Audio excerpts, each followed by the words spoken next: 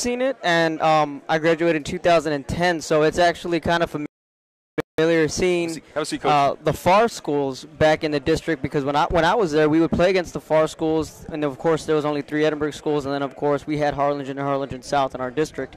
So, but I think I think the gist of it is that it's good to have all four Edinburg schools back together in the same district. Absolutely awesome. Well, we have here with us now Coach Max Habecker from uh, Roma, Roma Gladiators, and coach the new district for 31-5A, Laredo Cigarroa, Martin, Laredo Nixon, Mission, uh, I mean not Mission, but Sharyland, Mission Sharyland, Mission Veterans, Valley View, Rio Grande City, Roma, and then Sharyland Pioneer. That's going to be a pretty tough district, coach. Yeah, definitely, man. Well, how do you feel? I mean, you're you know you're over there uh, close to I guess you would say a couple of hours, maybe an hour and a half away from uh, Laredo. How do you feel about traveling over there? Well, we're right smack in the middle, uh, both ways. So Yeah. I guess that's a good thing. Yeah. You know, we don't have to travel too far one way or the other. But we're used to traveling. You know, it, that's no big deal. You know, we're, we're always. Uh, I guess it's it's further for people to come to. It's harder for people to come to us than it is for uh, everybody from Roma. Just used to traveling one way or the other, so it's no big deal for us. Yeah, and, and even even though you, we say that you guys are part of the valley, Yeah. when you when you come this way, you say we're going to the valley, Yeah, right? yeah, it's, it's funny, man. We do say hey, we're, we're headed to the valley.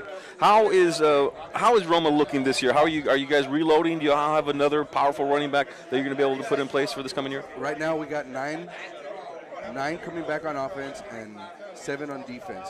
Okay, we have to replace some very good players, but uh, you know that's just a, that's a yearly thing that everybody Sure. goes through. You know, we don't get to keep our players for, for that long, so it's just a transition period in the off season. You know, creating uh, new leadership within within our program, and, and then creating a, an, our own identity. Because every year, our identity has to be very different as far as the leadership is concerned. So I want these guys to take ownership and to run this team inside out. Right, right. You had you made some great strides over the past couple of years. Uh, you know, winning the first uh, playoff game ever against Mercedes and, and a comeback victory for you guys. Is there a new tradition? I mean, you've you've, you've always had good teams. Yeah. You're always knocking on the door, but over the past two years, you guys have just played incredible football. Well, it's about belief. I think that's the biggest difference. Our kids believe that they can go uh, and win every game that we play. It does it happen? No, it doesn't happen. But we go in there believing that we can do it, and I think that might be the biggest difference between you know those six and four teams that we're making in. You know, last year we were eight and two, and then eight and three if you count the playoffs. But I mean, that's a big difference right there Right. compared to back in the day, you know, Sure, when absolutely. things weren't really going our way. But it, it's all about the kids and then the coaches, you know, working their tails off with them year round, and uh, all, all that dedication has come come full circle for us.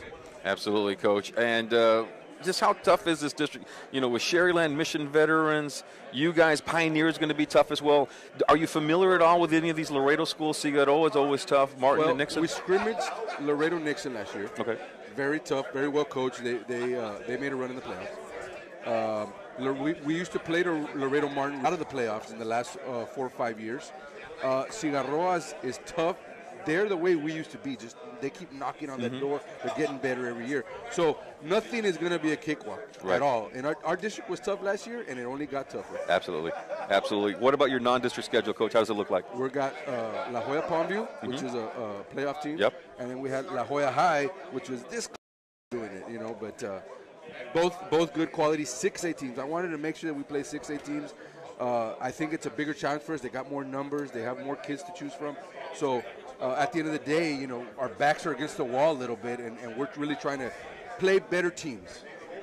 Coach, um, go ahead, Kevin. You have a question? Uh, I was just going to ask, Coach. Uh, this past season, we talked on the huddle how, how the formula of this team was playing defense and running the football. So, so is that is that going to be the same strategy next year? You know, having to replace so many guys, or what's what's the outlook for Romont next season? What's going to be that nucleus? That's our philosophy. That's what we believe in as a program. That's how we train. You know, we're going to play great defense and we're going to run the football, and that's what we do all year round. Our coaches believe in it. Our kids believe in it, and uh, and that's just what we do. And and uh, that's our philosophy. Like I said, you know. So I don't foresee any change. I would like to create more balance in our offense, but uh, we know that we can run it. So when it all when it all fails, we know that we can be successful. Coach, I know. Uh, how are those baseball and softball fields working out for you guys? The turf. Uh, you guys have turf on your baseball and softball Yes. fields. PSJ and now Edcouch also is going to do it. Uh, How does that work out for you guys? Because when it rains, how how quickly can you guys go on the Well, turf and start playing? First of all, we never have to cancel games except for lightning, right?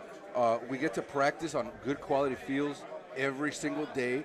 And last year we were to help. We were able to help out our district and other districts that were close by when all that rain came down.